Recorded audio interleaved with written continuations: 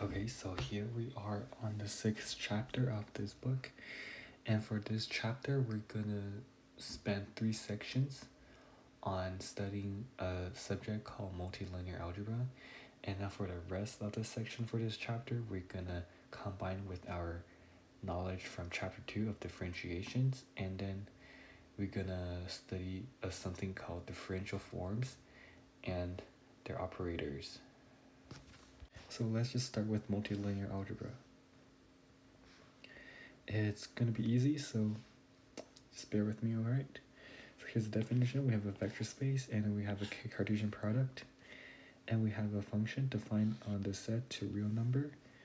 We set this function is linear in the ith coordinate if we fix all the vj that is not equal to i and the function t be such that tv is equal to f so the other ones are fixed and the only variable is this one the ith variable.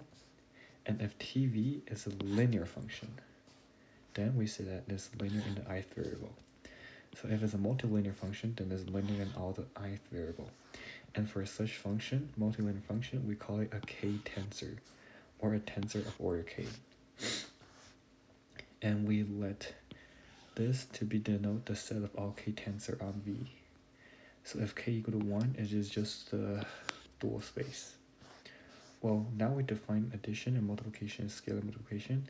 If we define the addition to be this, and we define scalar multiplication to be like this, then it is easy to see that this is a vector space, with the zero tensor being the zero map. Okay.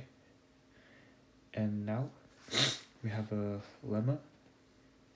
It says that 26.2 Where's 26.1? Oh, I skipped it. Yeah. Okay, 26.2 is like.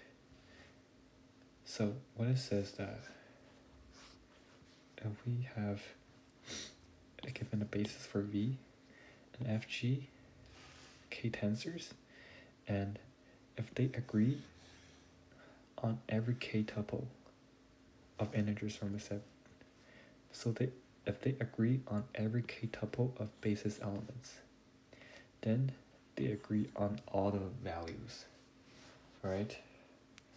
And note that there's no requirement that they must be distinct or arranged in particular order. They just arbitrary any k numbers from 1 n. So the summary is that if they agree on k-tuple basis, then they agree on vk. So here's the proof. So if we're given arbitrary k-tuple, each of them we can write it then as a linear combination, as a linear combination of the basis. So vi is read as c i j a j, or j from one to n. Now we calculate this because it's multilinear, right?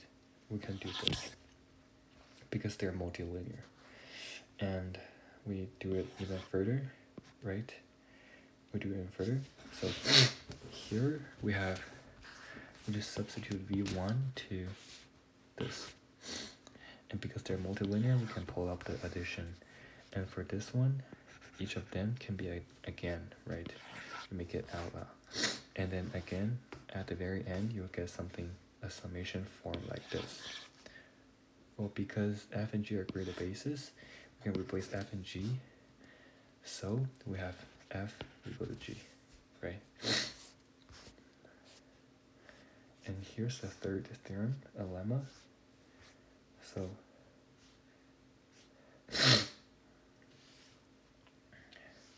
the lemma is that we have a vector space and we give given basis and we let i be a k-tuple and there's a unique k-tensor on V such that for every k-tuple we have the value is equal to 0 if the tuple are different, and is equal to 1 if the, type, the tuples are all the same. Then the set of all such tensors form a basis for this vector space. Okay, so here's a summary. So given this, there exists a unique k-tensor, such that for any j, we have this is equal to 0 if i is not equal to j. 1 is equal to j, and this forms the basis of this vector space. And all such tensors are called elementary k-tensors on V, corresponding to this given basis. And we know that the dimension of this space is the dimension of the this given vector space to the power of k. so in the case where k equals 1, then they're just the basis for the dual space, right? and here's the proof. The uniqueness follows by the last lemma. We just we just proved the lemma. If they agree on the basis, then they're the same. The uniqueness is already done. And for the existence, so first we consider k equal to 1, and we're given like the dual basis. Or the elementary dual map.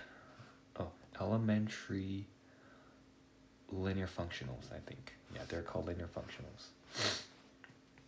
Okay, so if k is greater than 1, we define, so we're given i tuple, so the corresponding elementary k tensor with arbitrary k value, k, tup k tuple, and this value is defined to be equal to the product of so we have i right? So they're like the they're like the i tuples age i1 is going to v1 i2 is evaluated at v2 and until ik is evaluated at vk so first first we know that each each of them are linear right and we know the multiplication is distributive it's real number right then we have this is multilinear.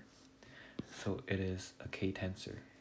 And again, the requires value are satisfied. And you guys can just calculate like really fast. It's really easy. But what we want is still we have to show that they form a basis. So what it means that so we're given f, right? We want to show that f can be written as a unique linear combination of all elementary tensors, k tensors. So we're given f, and for each i k tuple, we define di, a scalar, to be equal to f evaluated at. So here's the i tuple, and a are all the basis elements. Okay, so we're given a function, and then we define this this scalar, and then we define g to be the sum of k tuples, so obviously it's a k tensor. K tensor. So then we know that g evaluated at this is equal to di, right? And di by definition is equal to this. So we apply a lemma because they agree on the basis. So they agree on everything. So the existence of the linear combination is proven and we want to show that it's unique. So suppose there's another one, there's another linear combination, so there's a random other scalars, then we know that this is equal to d prime i because we have our phi j here. And d prime i because g prime is equal to f, right? So this equal to this but this is equal to di this di right so these two are the same which means that the linear representation is unique so here's a note so followed by this theorem if we define if we define scalars for each i and then with the basis then there is a k-tensor f such that it takes this value on each i right? We just define g to be this, then then g that this g is the f we want. So a k-tensor can be defined specifying its value on the tuples of bases. Alright. And here we on, moving on to the next definition, which is called tensor product. So if f is a k-tensor, g is a L tensor, we define their tensor product is a k plus L tensor such that, so if you're taking k plus L elements, this is to defined to be equal to f times the first k value and g on the rest L tuple. And this is a tensor product of f and g. And it's easy to see that they are indeed a k plus l tensor because each of them is k and l tensor, so it's easy to sh show that. And here we move on. So we're given a linear map, we define the pullback or the dual transformation. So we call this the pullback or the dual transformation. Uh, let me just check what is it called on the textbook. It is called. Oh wait, I'm sorry. I'm sorry. Just something. Okay, so so with this tensor product being defined, here is a lemma that talks about the properties. So the pro here is the properties of the tensor product. So associative, homogeneity, and distributive. And then we have this formula. You can take you can pause the video and take a look. And the proof is really trivial, so I skipped it. So that's the reason why I forget about it. Okay, so let's keep going.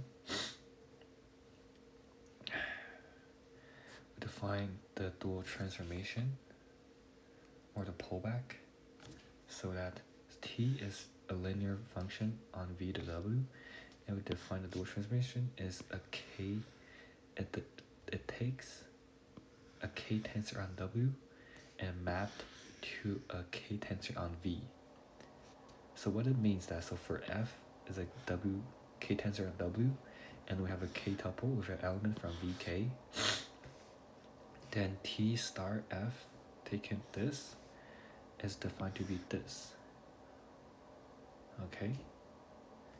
So this take the value of f and this function taken v is defined to be f of, of tv1 to tvk and this is indeed a k-tensor because t is linear right? And f is multilinear so you can split them out so this is indeed a k-tensor on v all right so here is a theorem about this. Here is a theorem. So here are three properties. T is a linear transformation, so this is a pullback. And first, this is linear, and second, we have this property, and third, we have this property. And the proof is kind of trivial. So I just prove the first one is if it's linear.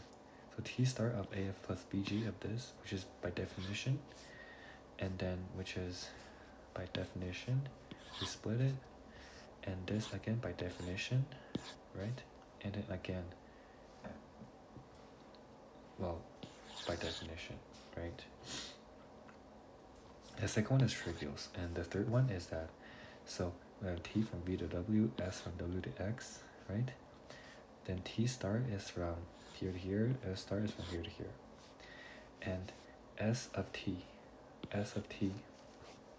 When should s of t? Is equal to t star s star f. So s of t star f from v right? Because this function takes v as a value right? Oops sorry. Okay let's just keep going there's a diagram's gonna be useful. So you take a v and is equal to by definition this one right? You just pull this in. And this by definition and you pull this s out right by definition and t remains the same. And again we pull t out right and the rest remains the same.